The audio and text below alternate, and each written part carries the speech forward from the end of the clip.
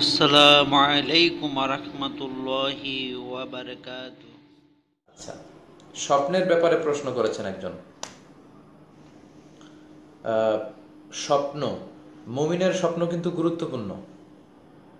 মুমিনের স্বপ্ন, এটা নবুয়তির একটা অংশ। নবুয়তির ছেচল্লিশ ভাগের এক ভাগ, খুব সম্ভবত এরকম হাদিসে এসেছে। পাক্কা মুমিন যারা যারা সালাত আদায় করে, যারা আল্লাহর বলি এরকম মুমিন যারা, তাদের স্বপ্নটা গুরুত্বপূর্ণ। স্বপ্ন অনেক সময় অর্থবহ হয়। তো অনেকেই স্বপ্নের ব্যাপারে জিজ্ঞেস করেছেন।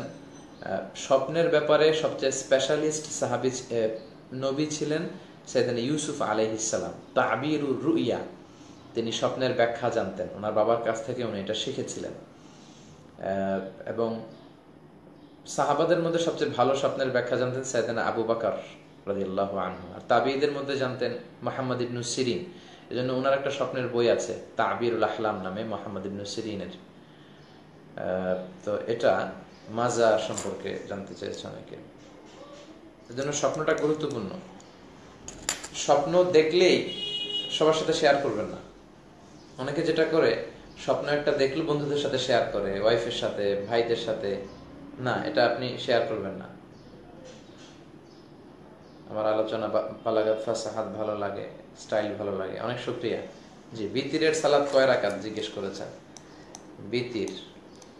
জি বলছিলাম স্বপ্নের ব্যাপারে, রাসুল ইসলাম বলেছেন ইল্লা আলা আলিমিন তোমার কোন শুভাকাঙ্ক্ষী বা বড় আলেম ছাড়া অন্য কারও কাছে স্বপ্নের কথা বলো না।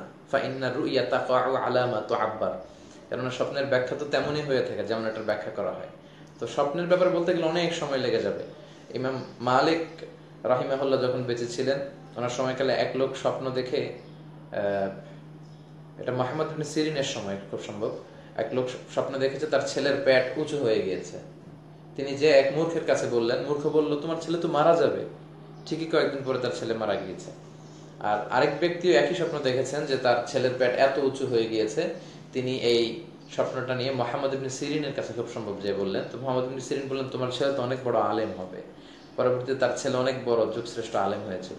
এজন্য ফাইন্না রুইয়া তাকাউ আলামা তো আব্বার স্বপ্নের ব্যাখ্যা তেমনই হয়ে থাকে যেমন এটার তাবির করা হয়। এজন্য যে কোনো কারও কাছে বলবেন আপনাদের এলাকায় সবচেয়ে বয়োজ্যেষ্ঠ বা সবচেয়ে বড় প্রবীণ আলেম যিনি খুব আমল করেন, খুব ভালো কোরআন হাদিস জানেন, তার কাছে যে এক্সপ্রেস করতে পারেন যদি আপনি চান।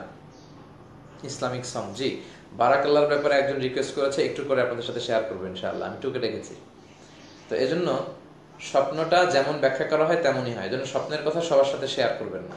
রাসুসাহ ইসলাম বিভিন্ন সময় স্বপ্ন দেখতেন, হাদিসে পাওয়া যায়। কিছু আলামত আছে। কেউ যদি স্বপ্নে দেখছেন যে আপনি গরুর দুধ খাচ্ছেন, হুম? তো তার মানে আপনার জ্ঞান বাড়বে, এটা একটা সাইন তারপর আপনার জামা যদি ছোট হয়ে যায়, তার মানে আপনার তাকুয়া পরহেজগারি কমে যাচ্ছে। রাসুসাহ ইসলাম বুখারির বর্ণনায় রাসুসাহ ইসলাম বললেন যে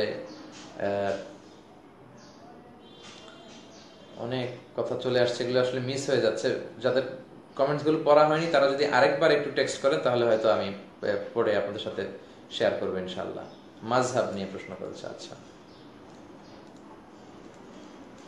রাসুসাহ ইসলাম একবার স্বপ্ন দেখলেন যে সব সাহাবাদের জুব্বা কারোটা নাভি পর্যন্ত, কারোটা হাঁটু, কারোটা টাকনু।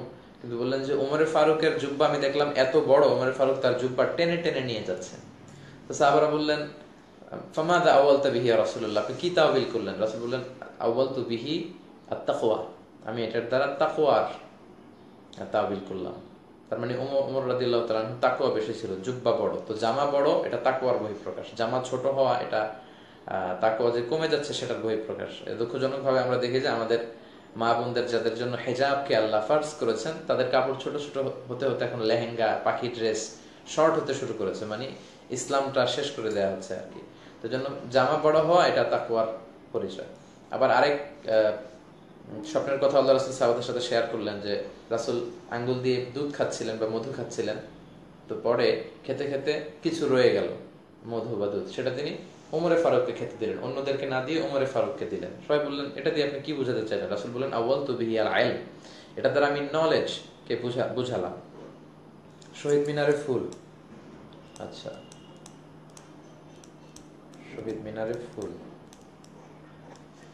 তো এই জন্য কেউ দুধ খাচ্ছেন, মধু খাচ্ছেন, এটা আপনার জ্ঞান বাড়বে, ইনশাআল্লাহ। এটার একটা প্রমাণ। তো এভাবে মোহাম্মদ ইবনে সিরিনের স্বপ্ন ব্যাখ্যা যদি আপনারা পড়েন তা আবিরুল আহলাম, তাহলে এ ব্যাপারে জানতে পারবেন।